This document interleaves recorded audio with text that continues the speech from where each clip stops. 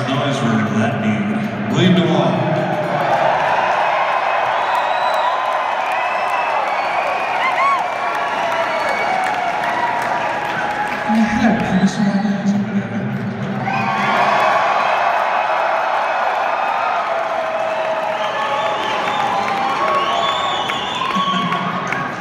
Sean Kitty on the drums.